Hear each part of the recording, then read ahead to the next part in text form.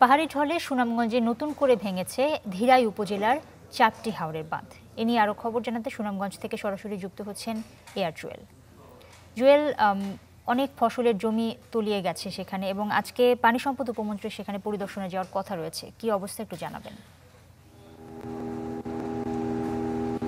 আপনি যেমনটি বলছিলেন যে সুনামগঞ্জে কিন্তু গেল সাত দিনে প্রায় পাঁচ হাজারের বেশি হেক্টর ফসল তলিয়েছে এবং প্রতিদিনই কিন্তু নতুন নতুন করে বাঁধে ফাটল দেখা দিচ্ছে, বাঁধ ভাঙছে এবং হাওর তলাচ্ছে। আজকে সেই ক্ষতিগ্রস্ত এলাকা কিন্তু পানি সম্পদ প্রতিমন্ত্রী যাচ্ছেন সুনামগঞ্জে দরপাশা উপজেলার যে চন্দ্রসোনাথ হাওরে।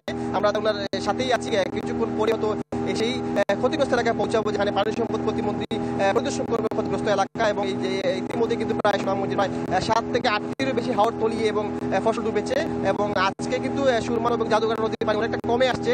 তারপরেও কিন্তু হাওরের পানি বেড়ার কারণে বিভিন্ন উপজেলায় বাঁধে ফাটল দেখা দিচ্ছে এবং কৃষকরা সেই বাঁধ মেরামত করতে কিন্তু রাত দিন চেষ্টা করছে কিন্তু অনেক হাওরে শেষ রক্ষা হচ্ছে না।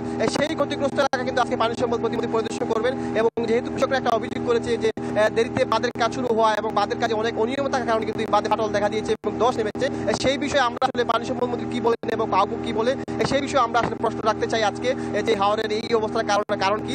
কিছুক্ষণ পরে হয়তো আমরা সেই ক্ষতিগ্রস্ত এলাকায় পৌঁছাবো তারপরে তো সেই বিষয়ে আপনাকে আরও জানাতে পারব। এখন পর্যন্ত পুরো হাওর এলাকায় কিন্তু প্রায় পাঁচ হাজারের বেশি হেক্টর ফসল তলিয়ে গেছে এবং অনেক বাদ এখনও ডুবিতে আছে। কৃষকরা সেই সংখ্যা কিন্তু অনেক কাঁচা ধান কেটে নিচ্ছে আমরা দেখেছি। সব মিলিয়ে কিন্তু কৃষকরা একটা দিশেহারা অবস্থা আছে। তার পরবর্তীতে আমরা আসলে ক্ষতিগ্রস্ত এলাকায় প্রশাসন কি উদ্যোগ এবং পরবর্তী কি উদ্যোগ নেবে সেই বিষয়ে আমরা জানাতে পারব। স্যার। জুয়েল অনেক ধন্যবাদ আপনাকে। দর্শক সুনামগঞ্জ থেকে যুক্ত হয়েছিলেন এ আর জুয়েল।